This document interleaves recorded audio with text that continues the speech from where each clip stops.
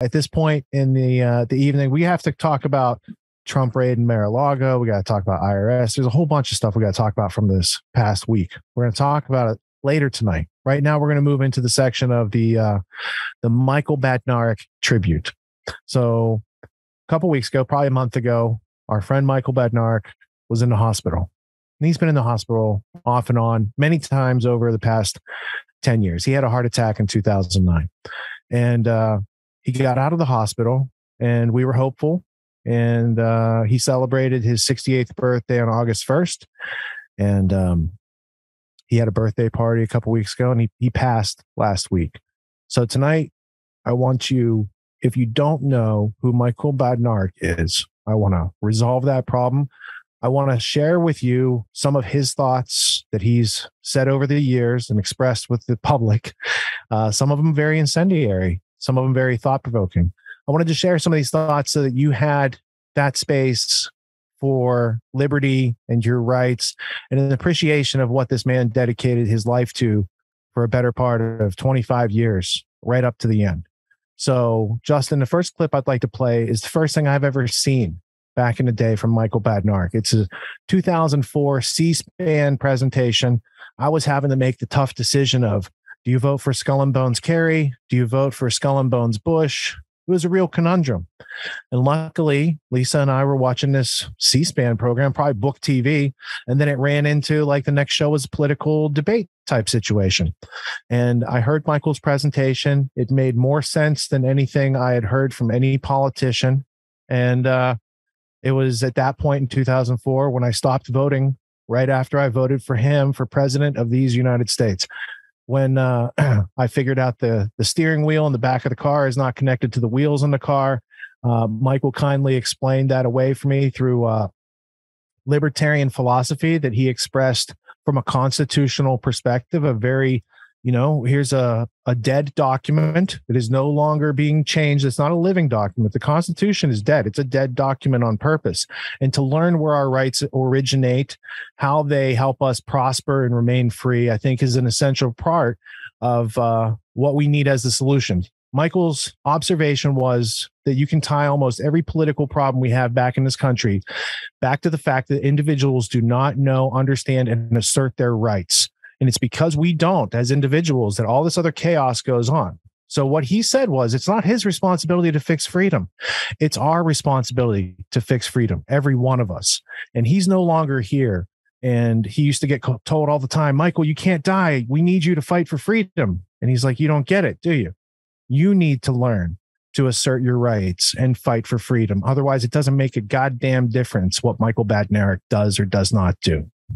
So, with that, let's go ahead and play uh, this priming video that was very influential to my philosophical growth. And let's experience it together. And then uh, we'll move into the rest of the tribute. The sound of silence. That was a moment of silence there for Michael Badnarik while we find this clip. Here we go demonstrate that we are not satisfied with the status quo. Voting for the lesser of two evils, and your candidate wins, and you still get evil. Part one. Two part. Okay. If you continue to vote for the Democrats or the Republicans, you are committing political suicide. The only chance we have of saving our constitutional republic is to vote libertarian.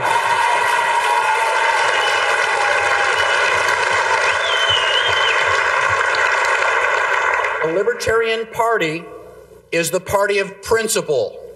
We have candidates in every state, in every county, that are principled, passionate, and articulate.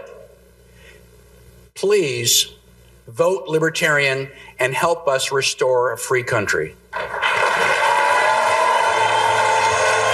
At this point, it is my distinct pleasure to introduce to you your 2004 presidential candidate, Michael Badnarik.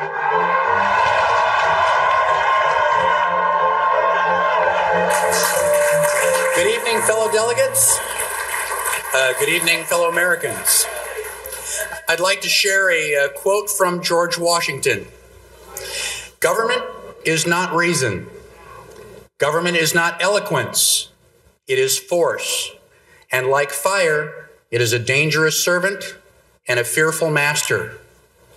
If you live in a log cabin, you'd require fire for your survival. You use the fire to heat your home and to cook your food. Fire is such a necessary part of your survival that you create a special place for fire. It is called a fireplace. Government is necessary for our survival. We need government in order to survive. The founding fathers created a special place for government. It is called the Constitution.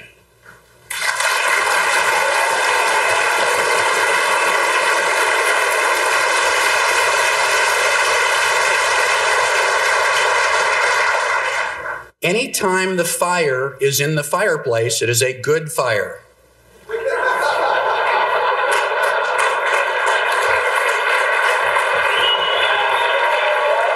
Anytime a fire gets outside of the fireplace, it is a bad fire. Conversely, anytime the government stays within the limitations of the Constitution, it is a good government. Anytime the government is outside the Constitution, it is a bad government and it is time for us to stomp it out.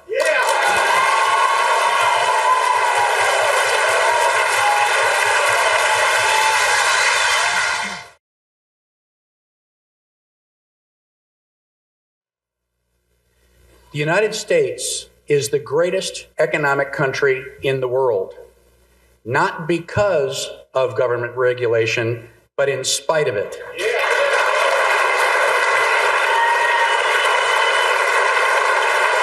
NAFTA and GATT have about as much to do with free trade as the Patriot Act has to do with liberty.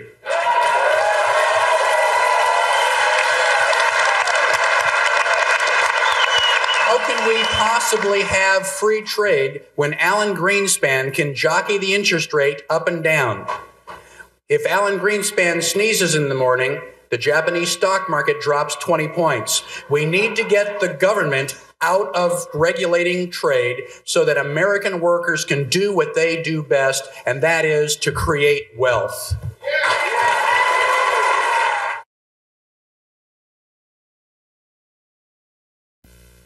The Declaration of Independence states all men are created equal. And in 1776, that's exactly what they meant. Women could not vote, women could not own property, and blacks were considered property. After 200 years of enlightenment, we have realized that gender and race are inappropriate distinctions for determining who has individual rights.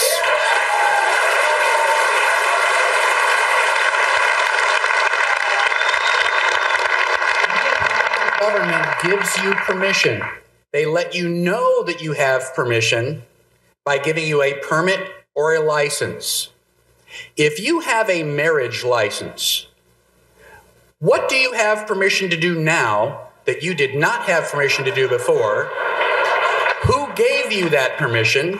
And where did they get the authority to give you that permission in the first place?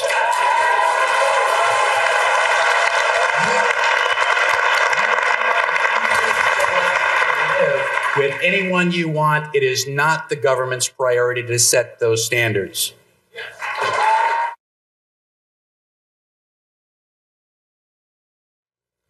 First thing that I would do would be to correct the characterization of our companies in Iraq as private enterprise. When the government selects one specific com- company to go into that country with carte blanche to do whatever they want, that is a government controlled monopoly.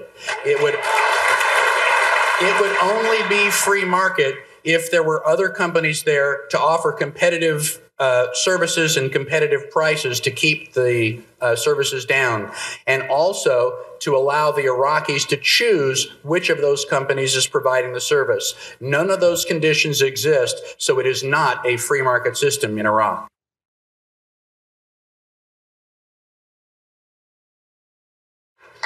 Libertarians are very strong on defense, but we also want the evidence. We need to know exactly who did what and why. Congress has the power to declare war. They also have the power to issue letters of marque and reprisal. In, instead of sending 100,000 troops overseas, we could probably send a smaller group of uh, U.S. Navy SEALs or Army Rangers and get the people who actually did this. But we need to have the evidence. Congress does not have the authority to grant the president carte blanche to go off and do whatever he chooses to do.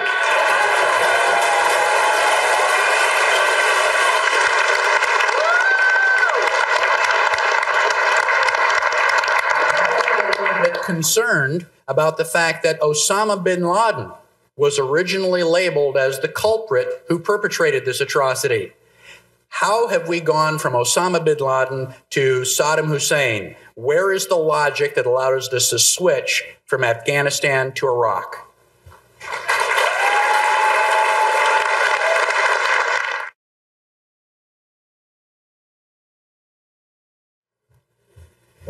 I did not see the halftime show. but I can I I am certain that Janet Jackson's breast is not the most obscene thing that we have seen on television. When we have a Democratic president using the Oval Office on a regular basis for his little tryst, I find that far more offensive. I find it very offensive when the government tells me what I can and cannot watch. I actually find Jerry Springer far more offensive, and so I turn him off.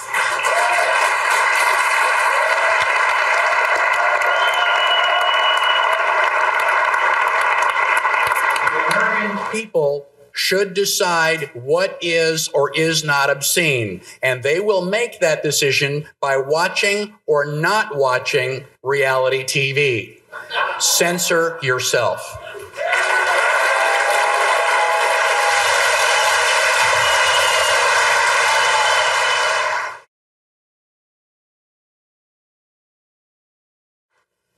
As I have traveled back and forth across the United States campaigning over the last 18 months, one of the things that has been most striking is the number of Democrats and Republicans who are becoming disillusioned with the status quo. City after city, I have non libertarians coming up to me asking me what they can do to change things. And after I explain the libertarian platform to them, they go, Well, of course. That's exactly what we think the United States should be. Out of all the possible voters, the people who are eligible to vote, sadly, only 20 to 25% actually take the time to go to the polls. That leaves 75% of the people who are unwilling to vote for the lesser of two evils. If we can get the libertarian message out there, we can take that 75% and we can t- make a significant change in government. Help us get that message out to the people.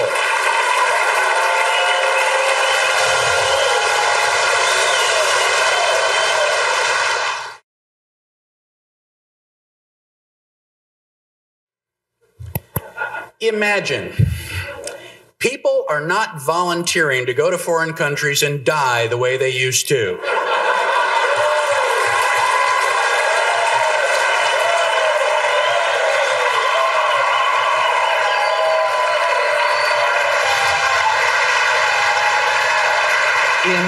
Imagine that.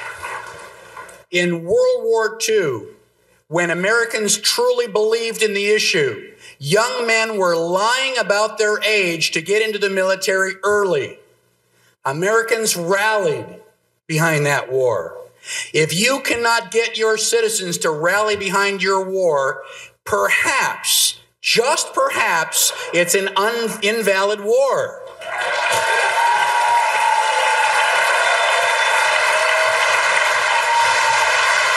The United States has far more military than any other country in the world.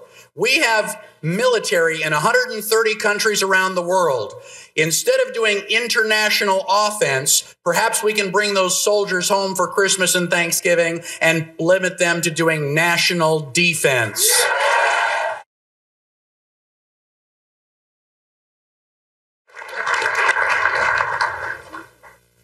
Congress doesn't seem to know anything about the Constitution, which is their job. How much less do they know about medicine?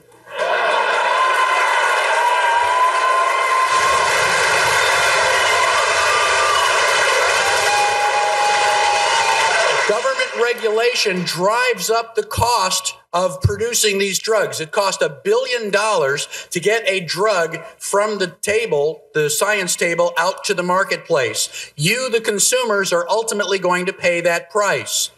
American drug companies sell those drugs to Canada.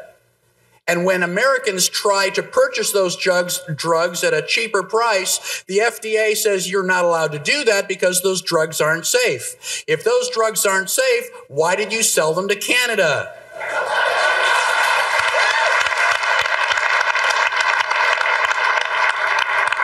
Anytime the government does anything, it drives up the cost and it doesn't work. Get the government out of medicine.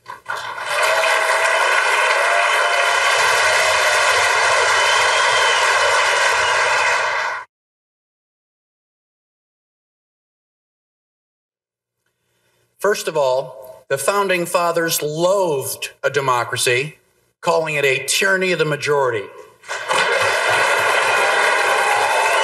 The United States is not a democracy. The United States is a constitutional republic based on private property and individual rights.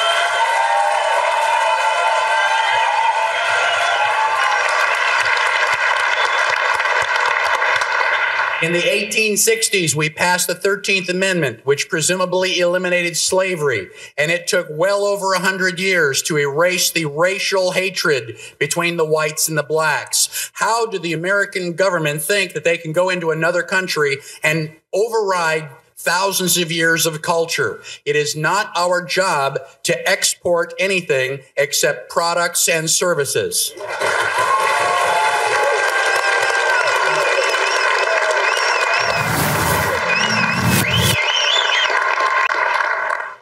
Very powerful statements made by Michael Badnarik in regards to the role of government, the true history of American democracy and American governmental organization, born out of the uh, Federalist Papers into what then became our constitutional republic. Um, I find that last quote very fascinating. I've heard it many times the tyranny of the majority. I think that's an important distinction to understand of the way the, the founding fathers truly thought about in regards to the juxtaposition of individual liberty to group based legislation, organization, participation, and group dynamics, and the sort of power play that goes on with that. So they understood the true value comes with the individual itself. Uh, and the Libertarian Party valued that, encapsulated that, uh, has moved forward. And there have been many different iterations of a lot of these like these foundational principles in regards to libertarian ethics, such as uh, you know voluntarists and anarcho-capitalists and all these different types of like branching off sort of um, philosophies have taken this idea of non-aggression, right? That it really begins with the individual first and foremost. So you have agency and responsibility over yourself first and foremost. And there is a boundary because that is the boundary. The fact that you have agency and responsibility for yourself does not necessarily mean um, uh, that you have the ability, you have the, the, it means in fact that that that boundary that you have agency and the ability to control your own body does not mean you have the right to control someone else's mind or body. And it's encapsulated obviously in the non-aggression principle. I think that's a very important understanding born out of natural law and sort of the highest sort of uh, argumentation of the enlightenment era that unfortunately also set the foundations for its own destruction but that's a time for that's a tale for another time um, let's continue forward with this Michael Badnarik tribute because I'm curious to see some of these other clips we have here in regards to how his understanding evolved from 2004, how he involved as an individual in his understanding of the constitutional constitutional republic that is America and the role of government and how abused, how, how abusive it has become from 2004 onwards and his own reflections and understanding of that. Uh, and um, Rich has a little, well, this is interesting. Summoning the spirit of Michael, I see here, Rich. What do you got going there? I owed it to him to put the hat on, but I have to wear glasses to read my notes. All right. So, celebrating the life of Michael Badnarik. Badnarik. For 20 years almost, I said it Badnarik, and then I meet the man and it's Badnarik. He likes mm-hmm. it with that AR sound in there. Uh, let's start with John Cleese. John Cleese was talking about serious versus solemn. Solemn means it's kind of humorless, it's dry. We're going to be serious. Michael was a serious guy, but as you heard, as you heard, like he's got a rapier wit. He's got a samurai sensibility about himself. He knows how to talk to an audience, or he knew how to talk to an audience, get their attention, make a point, get them to laugh, but also he was serious. He's dead serious the whole time. So we're going to be serious, but that means there's going to be a little comedy. You're going to hear Michael say some outlandish things in some of these clips. Uh, one of the clips we're going to play in a little bit is his 2010 eulogy for the Libertarian Party. For the Libertarian Party, he wrote a eulogy. I thought that's pretty funny. And we do have a message from Michael to read on this broadcast. It's, uh, it's not from the great beyond. He wrote it to us ahead of time, and uh, I'm going to be proud to share that. But I wanted to say that aside from what we take, like, you know, he taught us about the Constitution, taught us about our rights. Those of us who have studied his books, we'll get into those. I'll read you guys some quotes. Um, but he also was like a, a very well developed alpha male. He was a scuba instructor. He loved scuba diving. He thought of a relaxing time, strapping people to him and jumping out of a out of a plane as a parachute instructor. Uh, so you know he's not your typical marine biologist, potato. I believe, as well. He's a very cerebral dude. He had yeah. been cerebral since he was a little kid. Uh, he was a computer programmer. He worked at the uh, the Diablo Canyon nuclear plant, writing the code that automates and runs a nuclear plant. That's a pretty serious responsibility. One of Michael's challenges through life was when you develop an aptitude so high, like there's there's sometimes opportunities when you are forced into doing things to uh, to pay the bills where it's not your highest use of your aptitude. And Michael fluctuated between phases of getting to leverage his brilliance and then having to kind of you know muck it along with people who weren't very conscious. And I think that uh, that eventually built up over the years and for us, the audience, it flourished when he ran for president in 2004. And for about 10 years, he was an outspoken critic of libertarian party politics because he understood libertarian philosophy. And he had a love and passion for sailing. I never got to go sailing with him, but we all talked about it with him many times. Um, but a lot of times we just wanted to ask questions about history, the things that brought out his passions. He was very passionate about United States history, our rights versus the privileges that we, with our rights, give to government. Um, he did not tolerate fools. I mean, I remember some of the uh, online discussions we had where somebody would come at him from a very uneducated, kind of ignorant position, and he would be very quick to kind of state his his premises and back it up with evidence and then challenge them to to bring another volley, which usually never came. Um, he was an appreciator of the objectivist philosophy, and I remember this because he re- he reached out to me when I had come back into the autonomy community many year, a couple years ago, and regrettably, I did not respond to that. It was not in the right mind space because a lot of happened. But um, he appreciated the work and wanted to have a conversation. So I regret that I never took that up up on him, but I, did, I became aware that he was an appreciator of, you know, Ayn Rand and Leonard Peikoff and took a lot of like that as a base understanding for at least the philosophical understanding of the underpinnings of where individual rights come from. But one, he left objective us, reality and he left us some artifacts from which we can study things just like that. Let's go to uh, book cam here. This is his first book. It's called Good to Be King. He wrote it in 2004. And if I crack this book open, we're going to see not just his inscription, not just his friend Jimmy Vaughan, who inspired him to run for president. That's uh, Stevie Ray Vaughan's brother. Uh, the contents here you can see Let's just go real quick, zoom in for you. Ignorance is bliss, but it's still ignorance. Rights versus privileges, individual rights, sovereignty, forms of government, communist manifesto, founding documents in early history, the preamble and fundamental purposes. And then he breaks down the Constitution article by article. This is one of the most succinct, comprehensive, substantial history books and if it was read by every citizen of this country, the world would be a better place because there'd be a whole lot less criminality, slavery, all the other things that go along with it. I just wanted to show you, not the preface, let's get to the uh, cover page here, that what he was talking about in the debate is almost word for word what he wrote in the book. In fact, I'm not sure if this book was printed before the debate or after. It was 2004. The debate was 2004. But the verbiage, the examples, everything that you just heard is spelled out to the nth degree in the book. So it's very easy for a novice. Like I gave this to my 14 year old ne- nephew years ago, and, and he consumed it. I mean, it's pretty easy read. It's an understandable narrative. It is contradictory to what people were like indoctrinated with in school and the media. But if you weren't paying much attention to the school or media, you can get down to the bare facts and understand your rights as a human being and the evolution of the representations of your rights um, through history and uh, why you would want to reestablish your connection with your rights today. So, if I were to read a quote out of here, uh, let's see. Thomas Jefferson is quoted as saying, here's a good part right here. Thomas Jefferson is quoted as saying, and the country that can preserve the liberties of its rulers uh, are not warned from time to time that, that that this people preserve the spirit of resistance. Let them take arms. Let the tree of liberty be refreshed from time to time with the blood of patriots and tyrants, right?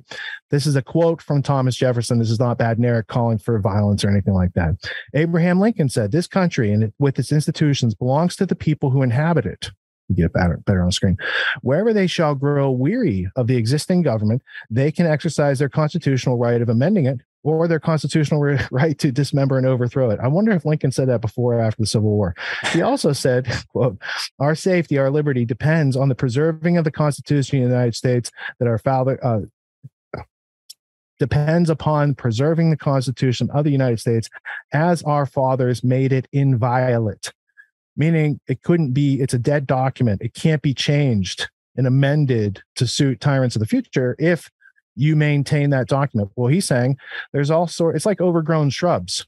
Like there was some nicely trimmed shrubs there. It was the Constitution, but now there's all these parts of the government that aren't really part of the Constitution. It makes it all, all overgrown. And that precipitates tyranny on individuals generation after generation. But wait, there's more.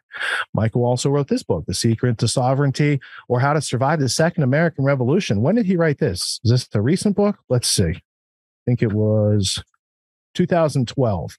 So in 2012, he's asserting some of uh, the rights and privileges that articulated in the Good to Be King book.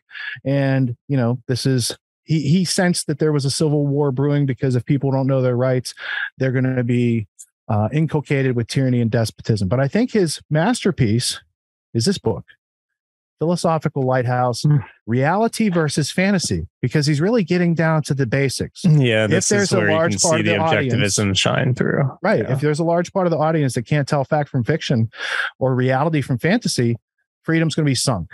You're not going to have civil discourse, you're going to have civil war. And in this book, there's hmm. a uh, you know a, a, basic of what we should have learned in school as far as intelligence reality words numbers logics uh, logic and the other aesthetics of a civil society. And it's told in a way such that there is an objective and subjective parallel path that makes sense. So he gives a lot of good examples to break it open like chapter 6 is just on logic. Logic is the beginning of wisdom not the end Logic doesn't tell you what the right answer is. Logic only helps you eliminate the wrong answers. Logic is not the same thing as rationale. Rationale is identified as a statement of reasons, a string of ideas closely uh, loosely tied together to generate an excuse for a conclusion that is almost always predetermined in other words you decide what answer you want and you connect the dots until you arrive at your answer a humorous example of this are the commercials recommending that you switch to from cable to direct tv so he gives you contemporary examples that he sees in the hmm. world that demonstrate this. But Gene Odening would call that ra- rationalization. Right. Yeah. Very so, similar. I divide information into four categories things I know are true, things I think are true, things I think are false, things I know are false. And then you would even check those because you want to trust but verify even yourself. So he goes through and breaks down a whole bunch of how to think because if you can't have how to think then your actions are going to be out of line and uh, you're probably going to be violating other people's rights so learn the foundation of what your rights are this is the the fundamental book that people would want to be interested in as like a first step because uh, are we interested in learning about the Constitution? Most people aren't, but they are very interested in what their rights are. What are the boundaries of their freedom? Where do other people's freedom boundaries pick up? What is the space in between? What are we allowed to do? Who gives us permission? Who gives us license? All these sort of good questions should be answered by an adult mind in order to operate uh, non contradictorily in this reality. So, with some of those books now in perspective, let's go back over here. Um, I mentioned that he's an alpha male. Here's an example. 2004, right after that libertarian debate, they select Michael as the libertarian candidate to represent uh, that party and its people for the president of these United States of America. Notice I didn't say the United States of America. He wouldn't like that. Michael would prefer these United States of America. And there's a debate now on the national stage among the different parties Republican, Democrat, Green Party, Libertarian Party. Michael is going to go to DC and he's going to have his time on stage and debate George Bush, uh, John Kerry. These other characters are running for president.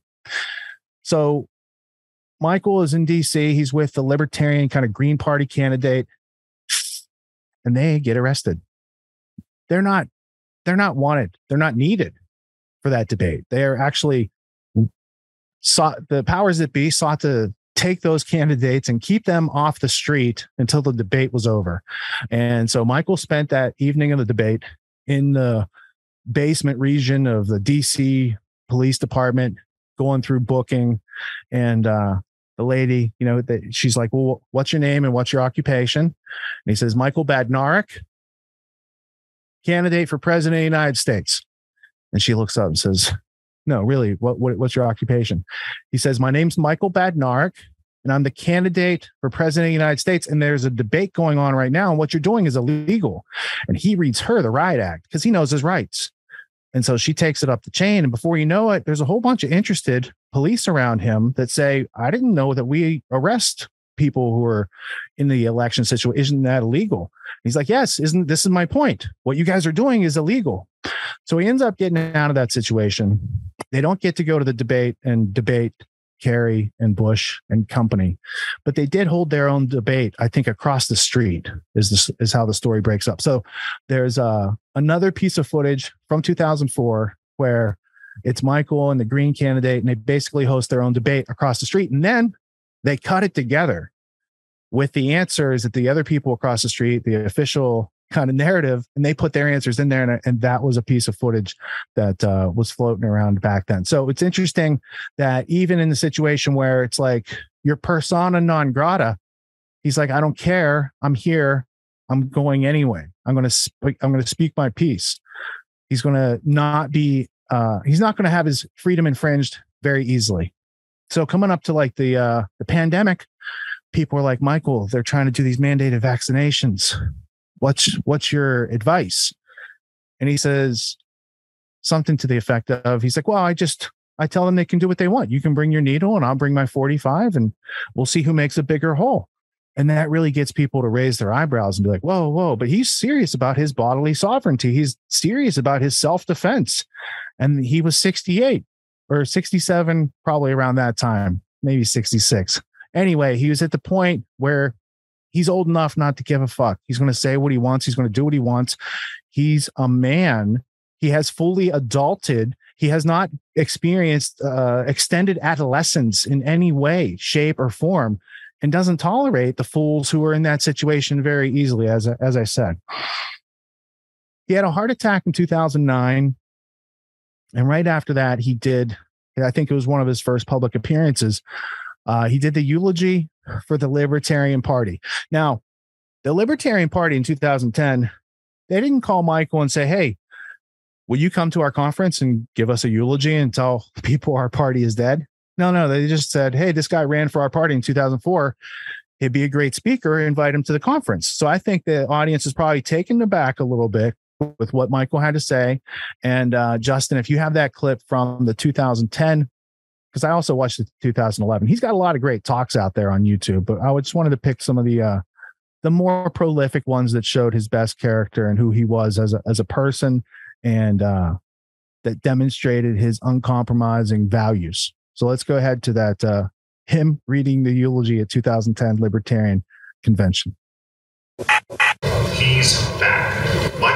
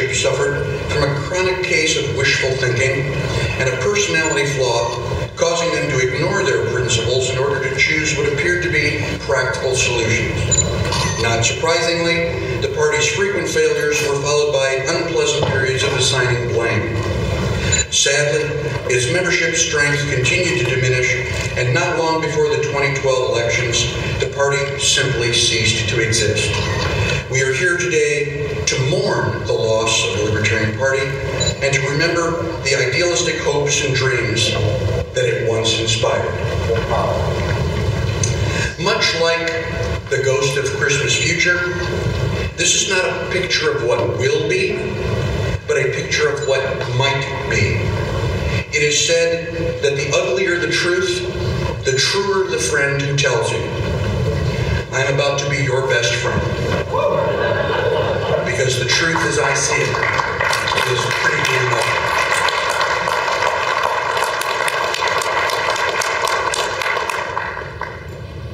Our economy is so bad and our political system is so blatantly corrupt that nearly 2 million people descended on Washington, D.C. to protest last year.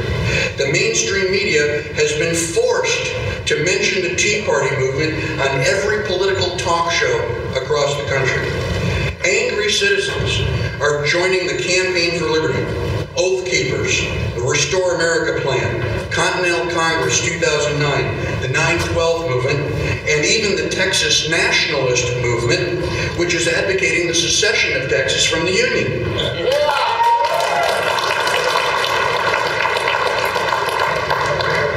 In the last two years, Americans have purchased 85 million guns and nearly all of the ammunition off the shelf.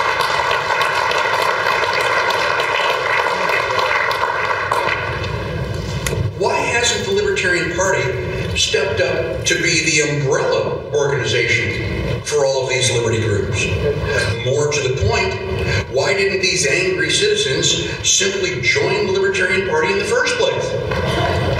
Why, when Ang- Americans are so desperately looking for the path to freedom, is the Libertarian Party more insignificant today than when it was founded nearly 39 years ago? Why? Because libertarians couldn't sell ice water in the desert. Libertarians agree on 98% of the platform, but they spend 98% of their energy debating each other on the 2% that they disagree on.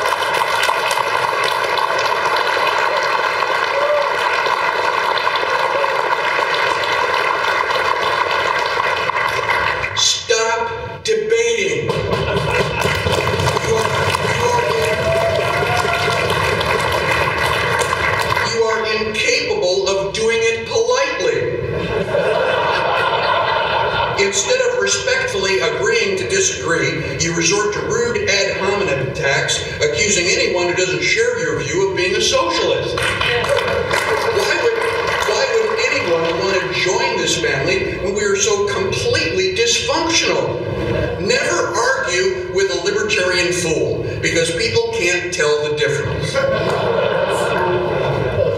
Libertarians proudly advertise themselves as the party of principle, but saying it doesn't make it so. When Ron Paul announced his presidential campaign in 2007, many libertarians complained that he would steal votes that belonged to the Libertarian Party. When I endorsed Ron's candidacy, I was accused of abandoning the Libertarian Party and becoming a Republican. I didn't abandon the Libertarian Party.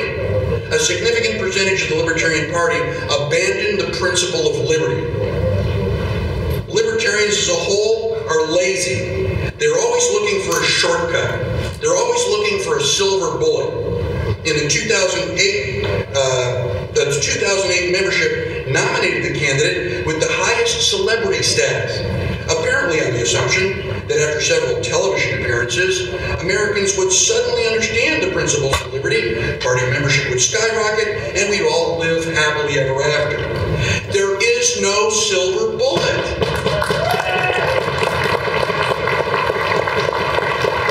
The only way to restore our constitutional republic is to work 18, 20 hours a day promoting the cause of liberty. Needless to say, very few of us are willing to put in have all the answers. I know this to be true because so many of you came up to me after my presidential nomination to tell me, Michael, all you got to do to win the election is fill in the blank. Everybody knows what they want the other guy to do for liberty.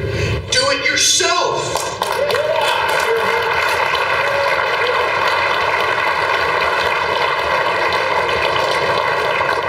We have too many chiefs and not enough Indians. If you have a great idea, find the resources and the volunteers to make it happen. Tell me about it after you've been successful. Stop telling me what I ought to do. I don't get enough sleep the way it is. So here is the bottom line. The Libertarian Party is an endangered species. Unless you dramatically change the way that you do things, the party will soon be extinct. If you really want to save the party restore freedom, I have a few suggestions. Establish a dress code.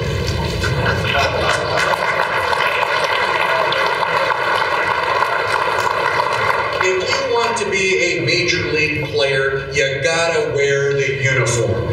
No t-shirts, no shorts or blue jeans, no flip-flops. Jackets and ties for the men, skirts and slacks for women. Okay? Pretend you're going to the prom. Eliminate paper candidates. Okay? If you if you're not going to run to win, then stay at home. Or better yet, volunteer for a candidate who is committed to going all the way.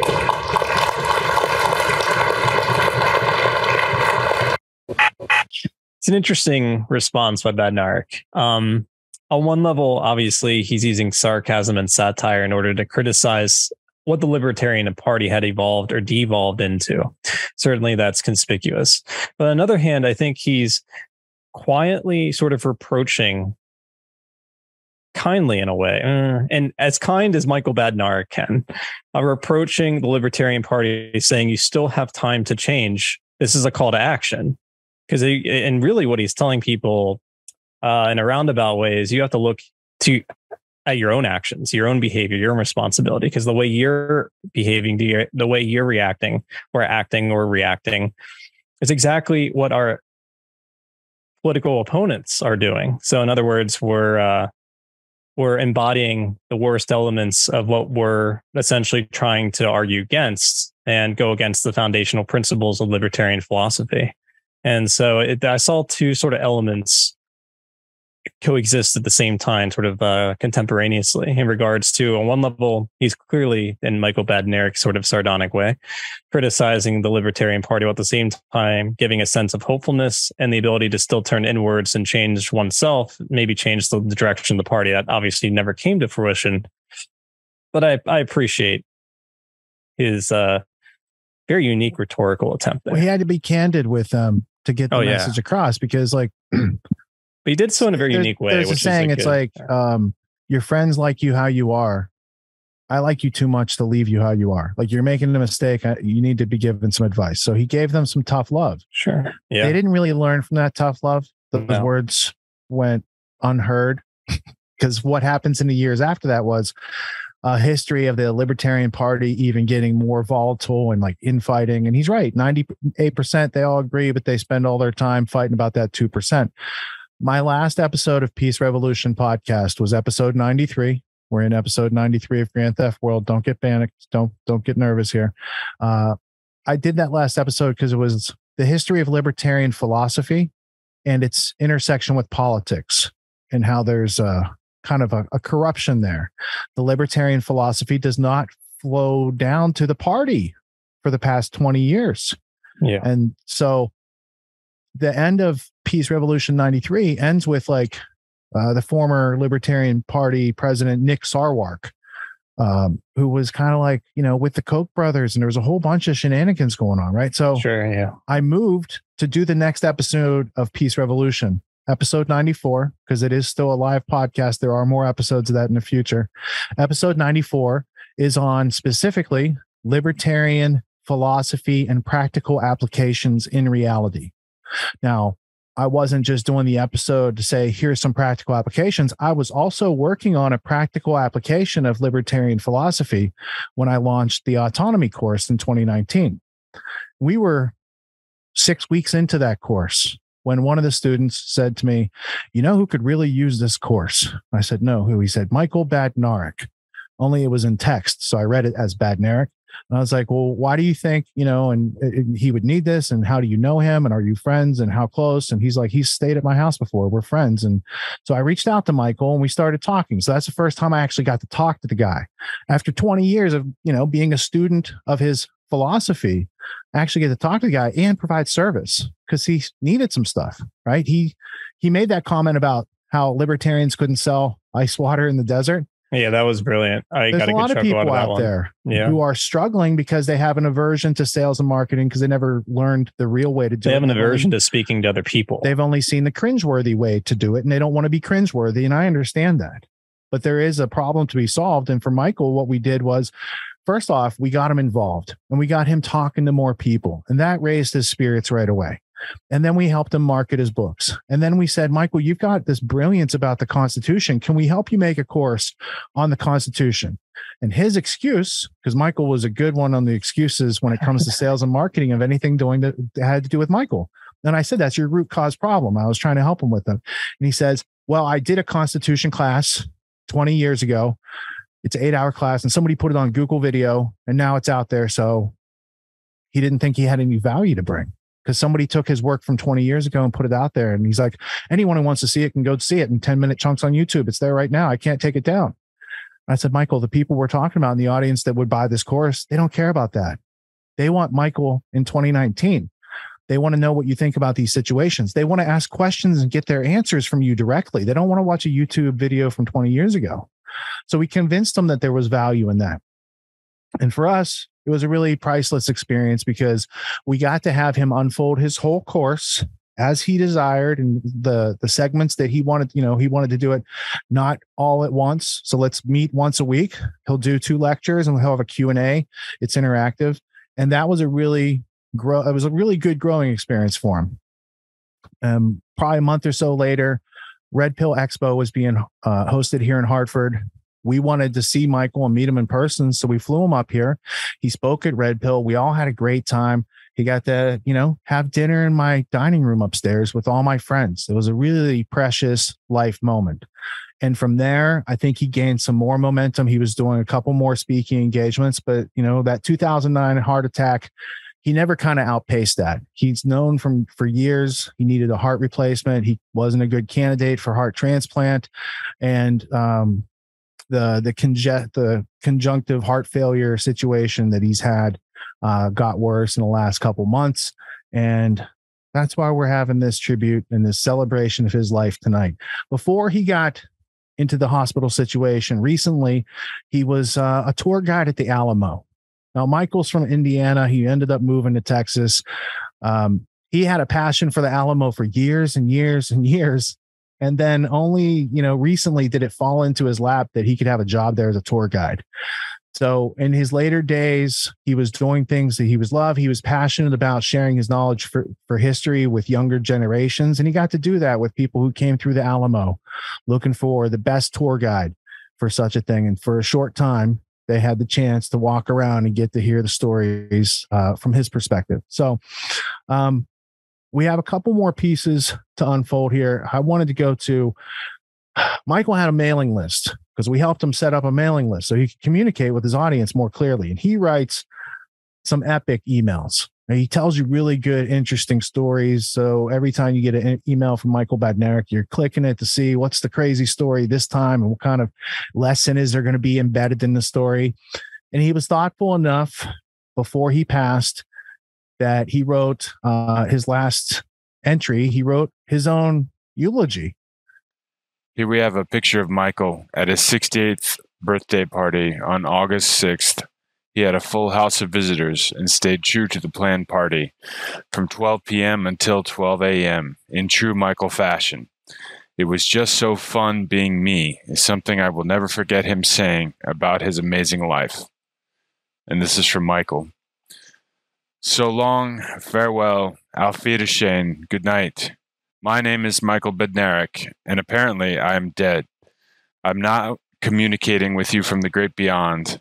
I merely had the foresight to write this while I was still viable consciousness, and I asked a friend of mine to post this to my website for me after I was gone. This gives me the opportunity to write my own eulogy.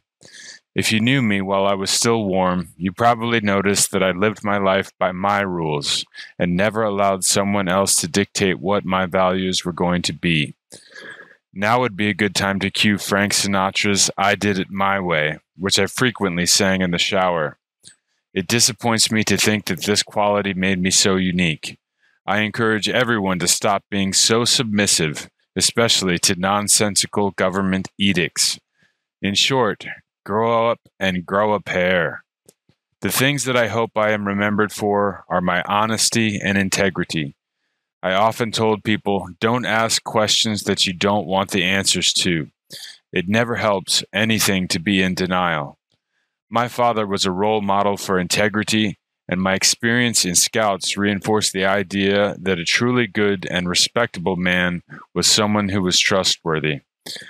I tried very hard never to make promises I couldn't keep, and I definitely never made any idle threats.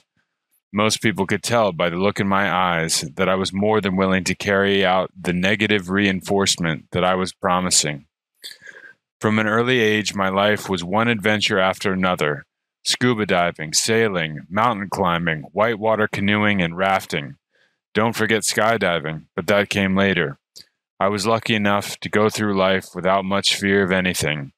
Keep in mind that fear is a symptom of ignorance. If you are afraid, the simple solution is to learn as much as you can about that subject. When you know what you are doing, the fear simply goes away. Michael Badnarik. Sage wisdom from a mind who spent a lot of time thinking, asking questions, finding real answers, challenging ignorance on a regular basis. When was last time you challenged ignorance? Your own ignorance, someone else's ignorance?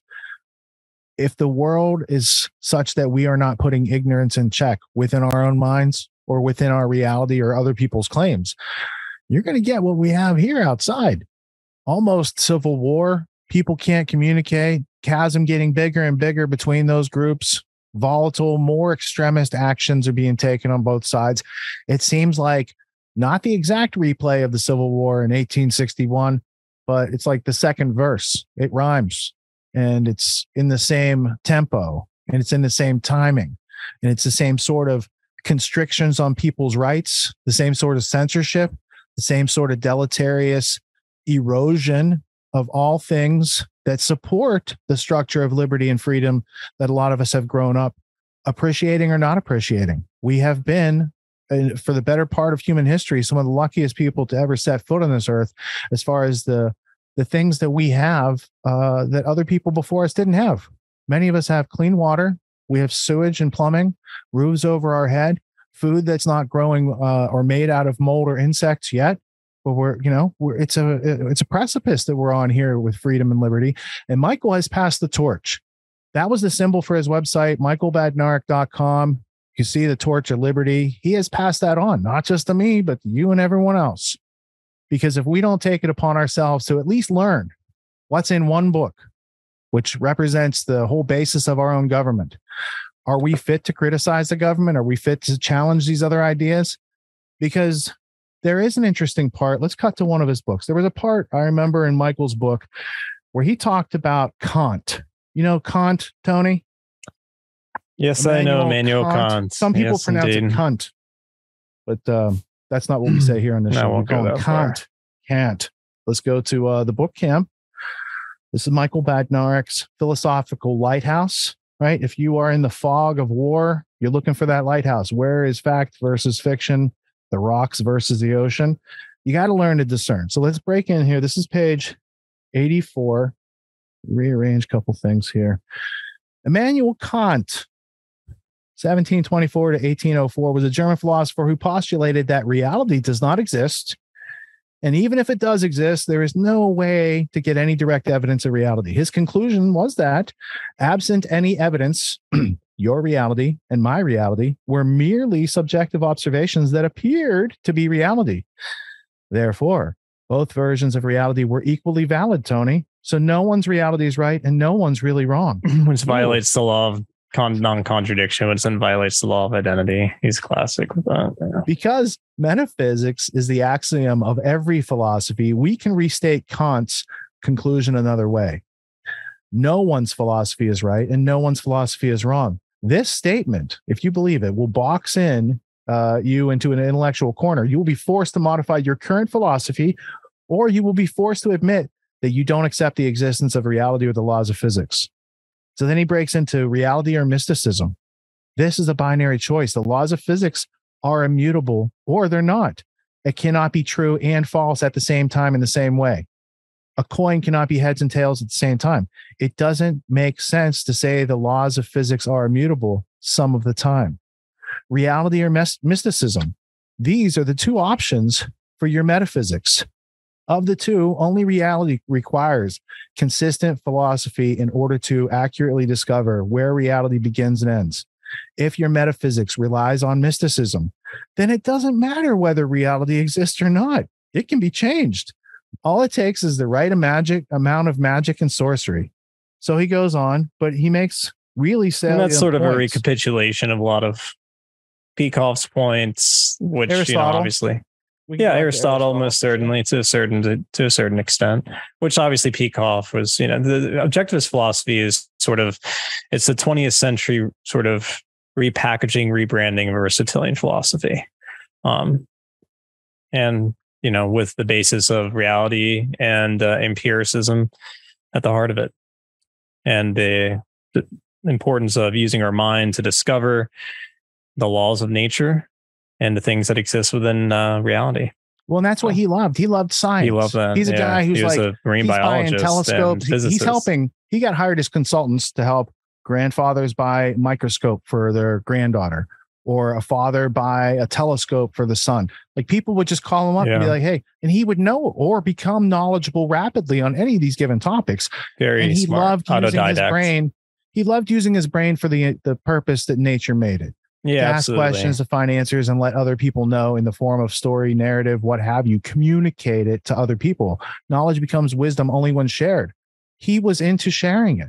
I think for a little while for the autonomy community, um, he was doing some presentations. They didn't go on for very long, but I think I caught one on some of his understandings in marine biology. And Oh yeah, uh, we would let him. He, yeah, he had the he- floor anytime he I had an appreciated idea. Like his Michael, rough- come on and talk about whatever, and he'd be like, Tuesday night we're going to talk about, you know, uh, aquatic animals and the coral reef or whatever his interest was at that particular time. So, a prolific learner is always an interesting person to talk to, and you didn't have to ask him too much to get your sermon out of him.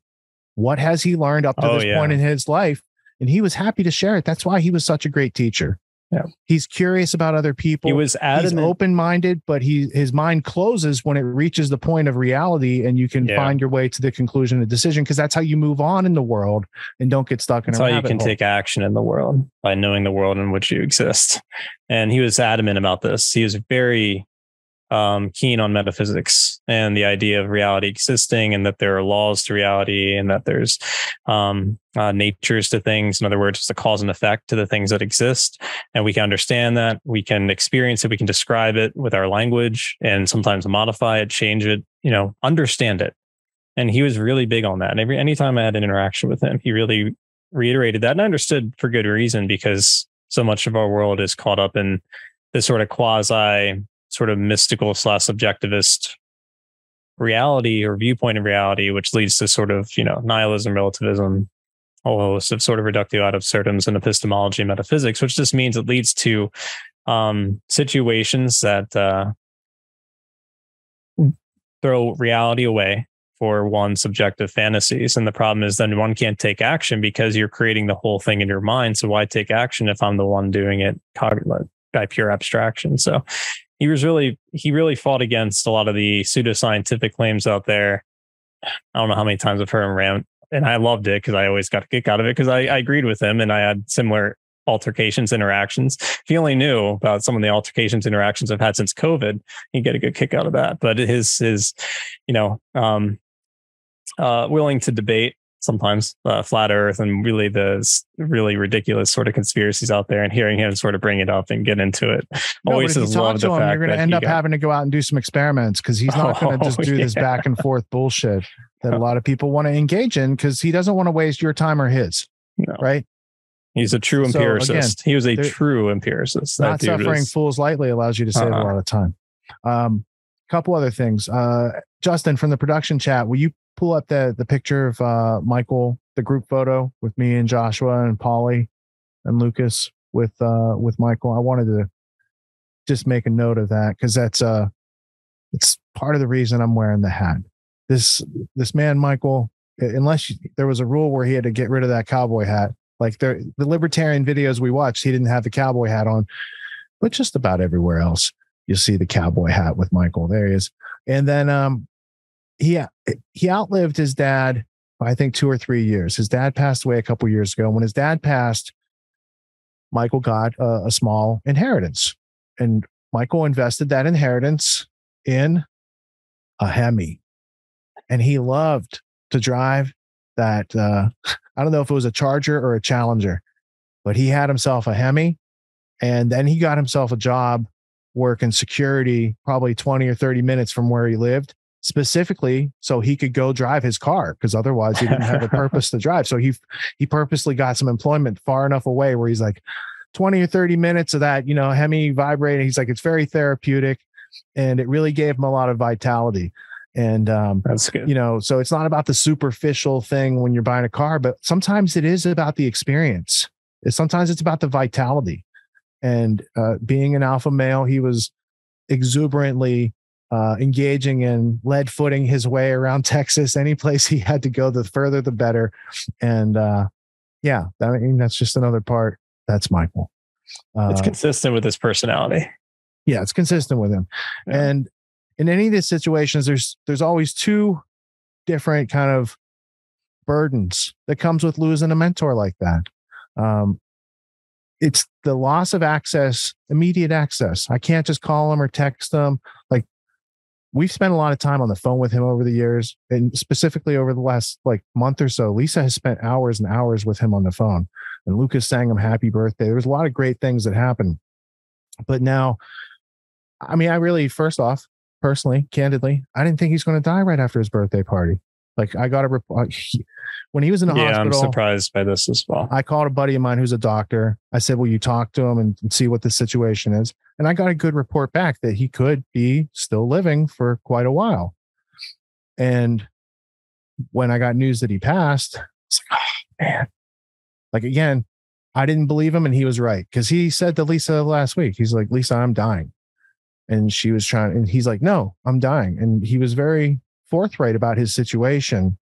And maybe it's probably two weeks ago at this point, but I remember we talked about it, and the takeaway I got ha- having no interaction with him, um, just th- except through you guys, um, was that a lot of it had. I mean, I don't want to. I mean, he had a. It's tough to go through a chronic situation like that, and Oh, one's sure. sort of you know mental disposition sort of can deteriorate and around that. Plus, so I look at the world decaying around him. Yeah. Like, you know, he was hard. really he he kind of died Mhm. from a broken heart syndrome. yeah, a little bit too. because his love That's for freedom, I, don't got. think was reflected back enough that he understood that people really understood what he was saying and were taking it seriously. He didn't get enough of that reflection back. I kept telling him, "Hey, you've Broken influenced the past spirit. 20, 20 years of my life."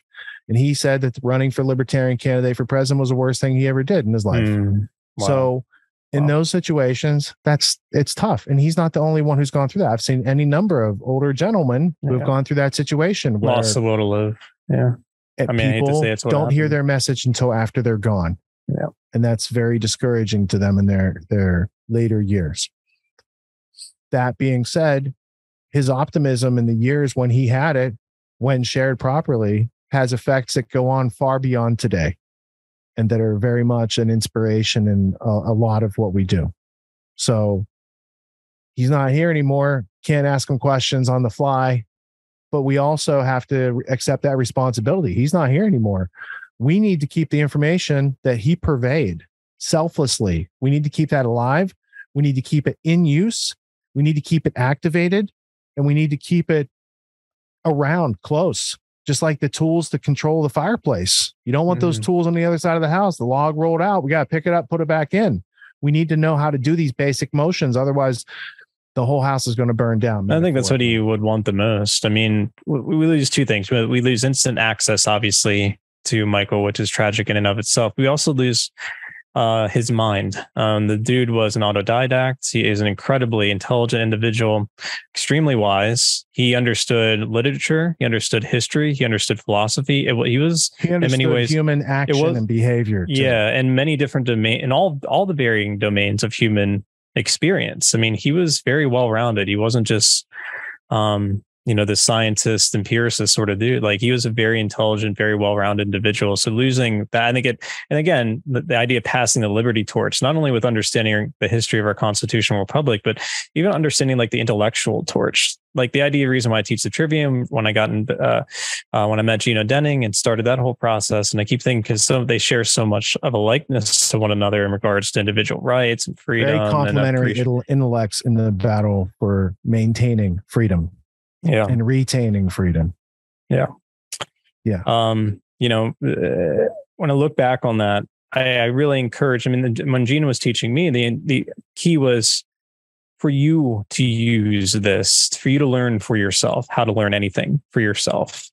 Um, it's not for me to teach you. And I was immortalized in an email I shared with Gene where I kept asking him questions, and he you can if you act fast, you can get a set of uh, Japanese Ginsu knives, only twenty nine ninety nine. Is his you know, uh, sarcastic way of being like, okay, okay, you need to do your own research. You need to come up to your own Yeah, conclusions. you need to have the confidence to know you, you. can talk about that without having me do it for you. And that's Right. very much, that's Gene, but m- so much Michael is very much, just reminds me so much of that disposition, that, that, that willingness to be like tough love.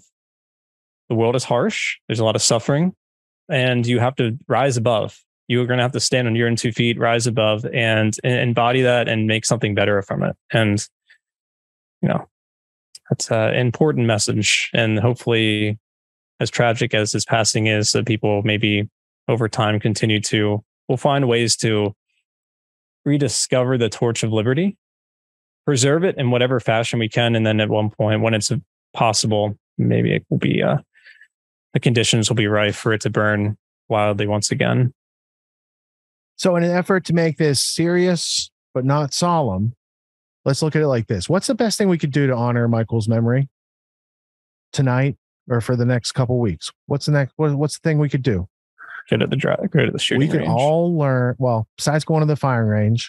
He's a big Second Amendment advocate. oh man, was he?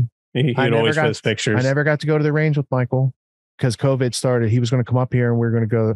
But um, I have a lot of friends and uh, coworkers who did get to go to the range with Michael and Oh, have that's cool. really good Nice. memories of that. Uh, yeah, big Second Amendment advocate. But um, I was going to say, I think the best thing we could do is study our rights. What are our rights? Let's let's really get honed in on those boundaries. Where are our rights? How's the government supposed to work? What does done right look like? And then we can start comparing and contrasting and communicating more clearly with others. So Michael did uh, his 2019 presentation of his constitutional course with the question and answer sessions. He was selling that on uh, his site and the Autonomy Agora marketplace. I think it was 200 bucks. I would like for the next month to make an agreement with the audience. I would like to give that very much to you for free for the next month. I would think that in acceptance of that offer, you'll dedicate some time in your schedule, a couple hours a week, to internalize that information before one month is up. Because after a month, I think we're going to reattach the price to it and we're going to send that money to Tisha, who's going to continue to publish his books, maintain his website. And we want to make sure that information continues into the future. But I think we need more representatives of that information itself. Become an evangelist of the Constitution of your rights. Let other people in your family know from a relevant source. You don't have to communicate it to them directly. You can point them to it and they can watch it for free for the next month, just like you can. This is something then we can internalize together, decentralized, have common talking points for our friends, family, neighbors, coworkers, and get on the same page before they throw all this crazy 2022 election at us and all the other FBI shenanigans that are going to go on in the next couple of months. So they say it's going to be, oh, it's going to be a cold winter, dark winter, all these types of things. Let's prepare for winter. I think the way we're going to keep ourselves warm is not by setting fires out there like Antifa does. I think we need to set brush fires of the mind within ourselves in the minds of men. Fire in the minds of men. You've heard me talk about that book ad nauseum for two years now. We're bringing it into play. You need to know yourself. You need to know what your rights are. You need to be able to communicate and articulate this information cogently to other people quickly. Michael made a course to do that. Now, he didn't go out and do interviews and radio and TV and all these things, advertisements, commercials to get people to see his course because he had that. I don't think I'm important enough to push my product. I don't believe in my product enough to get out there and do the sales and marketing. He had those internal hangups. Are we going to let those internal hangups that are no longer part of this world, he's passed? Are we going to let those prevent the rest of us from having to do what we do, uh, need to do to maintain and retain freedom for ourselves and our families in the future? I think we should embrace this opportunity. Michael has left us options and opportunity to learn our way out of this. And I think the world would be a better place if everybody who's watching right now went to what's the URL? Marketplace.autonomyagora.com and click to get it for free. We have been showcasing go. Justin's this got it up on screen. site on the stream, marketplace.autonomyagora.com, and of course, links in the show notes. All right. And you guys can verify if you click to sign up, it doesn't charge you $197.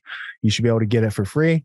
And if you had uh, questions, comments, concerns, you can ask in the Grand Theft World community. Use the uh, the support in the uh, community there, and we'll sort that out in the next 24 hours before we post this uh, as the replay. That makes sense. Good. All right. So for our last piece of this tribute tonight, we have Daniel Humbert thoughtfully took selected pieces of Michael's larger interviews and public speaking engagements and composed them into a nice memorial video, uh, some touching photos at the end that I thought were very appropriate because Michael, he's a unique guy and you get to see it in some of those photos. It's not all dry, constitutional, libertarian type stuff. He, he's a, a, a well balanced, well developed example of what an intellect can do over 68 years. So let's go ahead and uh, roll Daniel's piece. And then after that, we'll again uh, show the web page so people can get his course for free.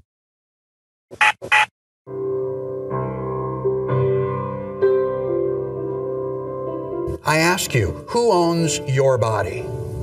I mean, most people react as if it's a nonsense question. Of course, of course, I own my own body. Well, unfortunately, that's not the way this country started out. When we signed the Declaration of Independence, it said all men are created equal. Women were not allowed to vote. Women were not allowed to own property. And even more embarrassing to our American history, if you were black, you were considered property. Fortunately, we have become greatly enlightened from that point, and most people in the United States no longer hold that view. We understand that it is morally reprehensible to even assert that you own another person's body quickly, but this is, again, only an introduction, but it's an important foundation. Even those of you that are talking about, uh, you know, really important issues, maybe a little bit more sophisticated issues, it's always good to go back and reestablish what your foundation is. And then it makes your high level arguments just that much more secure. Now, before I even started the class, I've had several people point out to me that the flag is upside down. I am a lot of things. Dyslexic is not one of them. Anybody have any idea why the flag is upside down? It is a, it's a distress signal and it's an emergency, a sign of emergency. I have the flag upside down deliberately because, from my point of view, the United States is definitely in dire trouble. And the trouble stems from the fact that people living here in the United States have no idea what type of government they have. They don't know the difference between a democracy and a republic. They don't know what their rights are. Another person that you have heard of, I'm sure, is Daniel Webster. And Daniel says, I apprehend no danger to our country from a foreign foe. Our destruction, should it come at all, will be from another quarter. From the inattention of the people to the concerns of their government from their carelessness and negligence, I must confess that I do apprehend some danger. I fear that they may place too implicit a confidence in their public servants and fail properly to scrutinize their conduct. That in this way they may be made the dupes of designing men and become the instruments of their own undoing. Make them intelligent, and they will be vigilant give them the means of detecting the wrong, and they will apply the remedy. So, my purpose here is to try to make you intelligent. I'm not going to tell you what to do or which congressman to write to. I'm just going to take the Constitution and show you what the Constitution says. I will ask you to read it for yourself. And then when you sit there somewhat shocked and stunned, then you can decide how to fix the problem. Now, many of you have never met me. Some of you have seen me give a, a, short presentation before. Let me tell you up front that I am an iconoclast. Now, an iconoclast is defined as a breaker or destroyer of images, one who attacks cherished beliefs and traditional institutions as being based on error or superstition. Unfortunately, most of what you think you know about the United States is wrong. Does it make sense that our American government has the authority to violate the Constitution? Do they have the authority to just add power?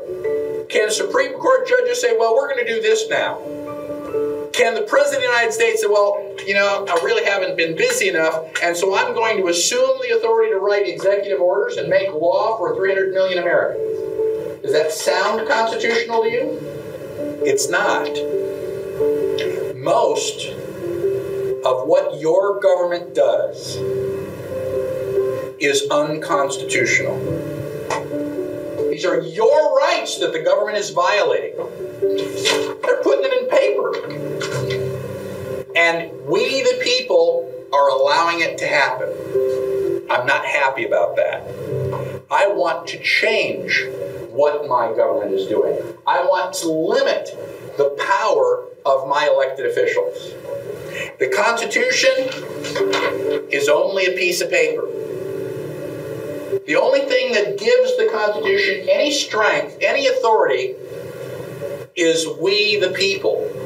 Everybody wants liberty. Everybody wants their individual rights. Where does liberty live?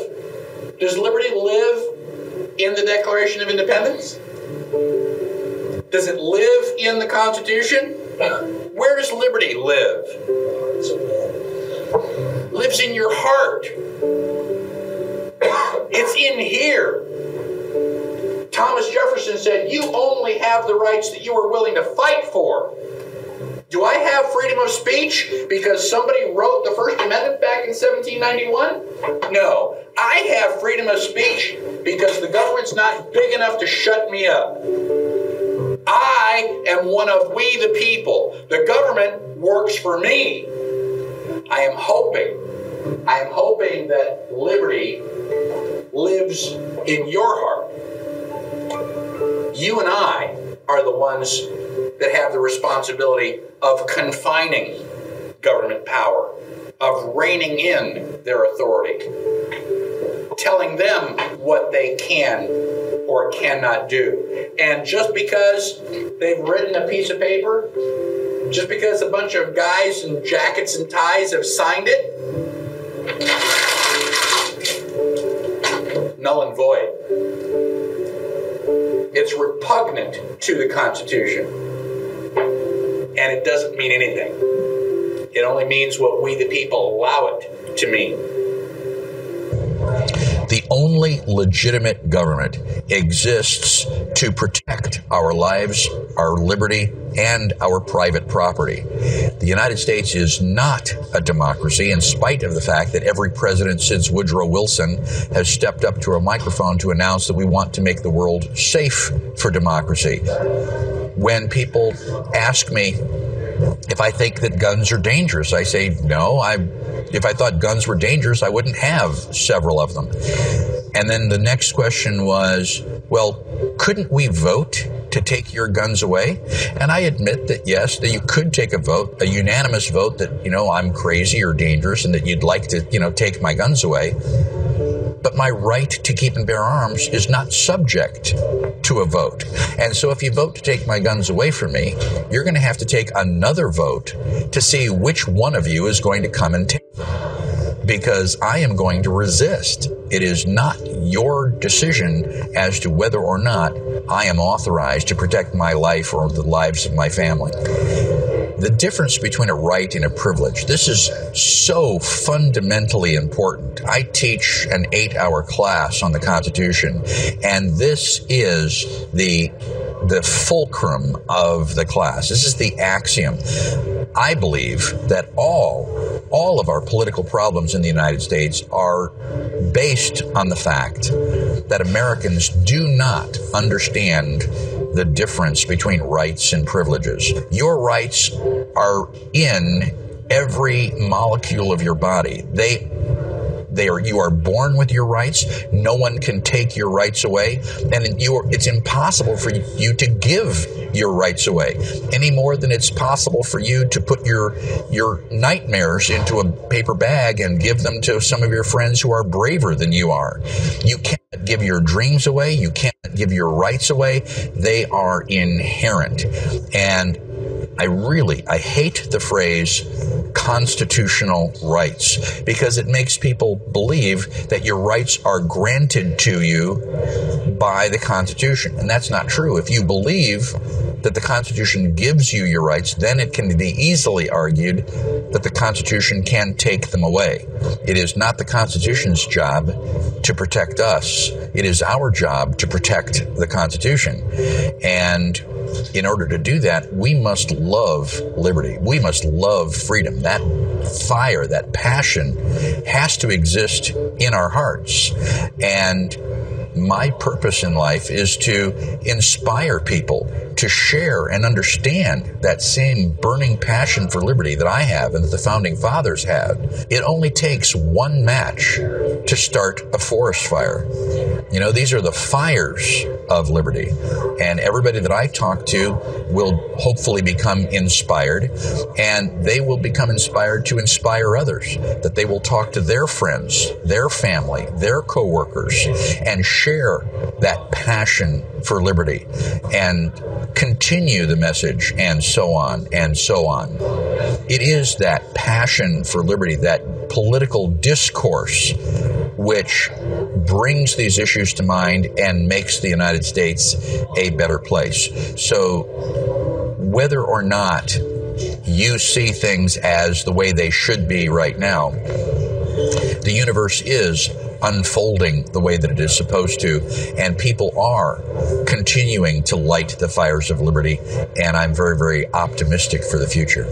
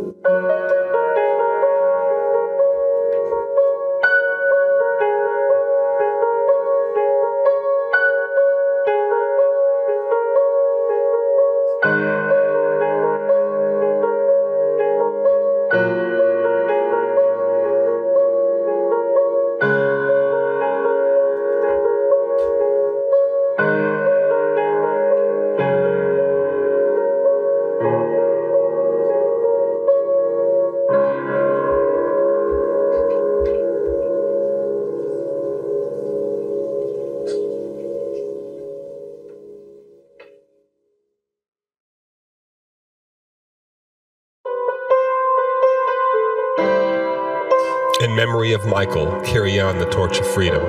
Light the fire of liberty inside of you. Learn your rights and how to defend them. You can find Michael's course at the Autonomy Agora Marketplace, where you can also discover the essentials of liberty in every aspect of your life with autonomy, a 12 week course giving you a skeleton key for living. Links in the description.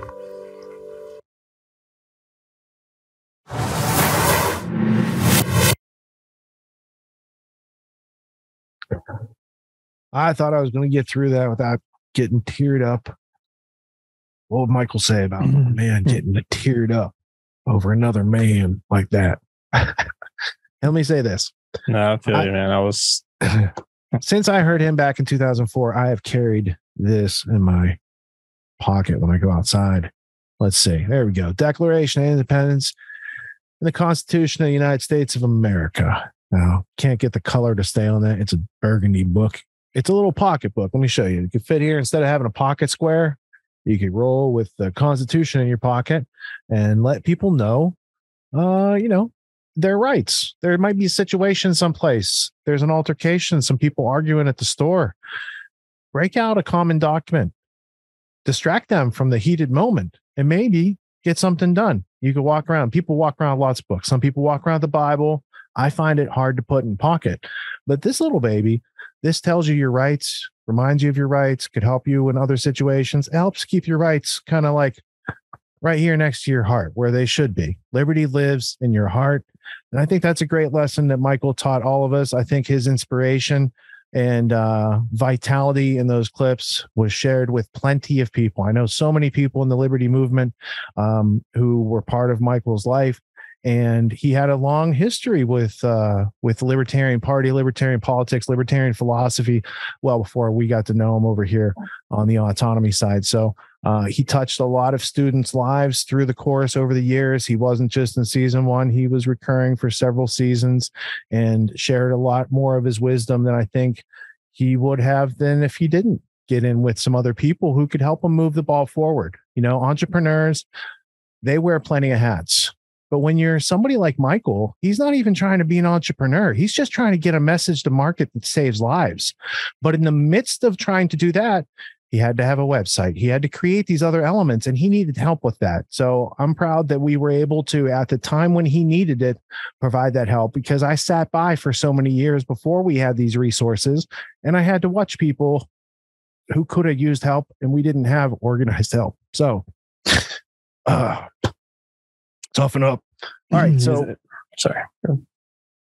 Michael has passed, but his memory is still going to be with us. And the way we can keep his memory alive in the best way possible, I think, the, to respect his memory, is to learn our rights, to keep liberty close to your heart, and share it with those who are important in your life.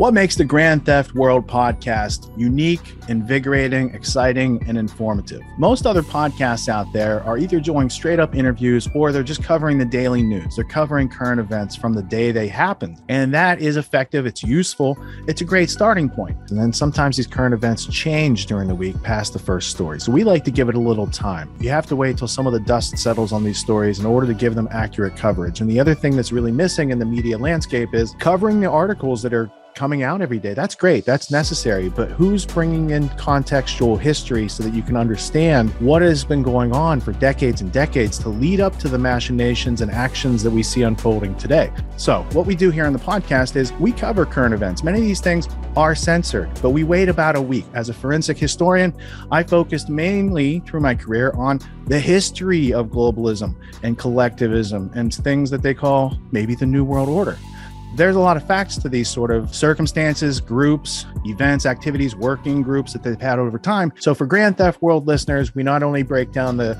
current events, most of which that are censored during the week, we provide you with contextual history, we give you the source notes, the references, we do deep dives, and this really empowers you with an understanding of context and history so that you can make more informed decisions in your life. There's also a community, a membership where you guys can actually ask questions and we can get into the show and share evidence.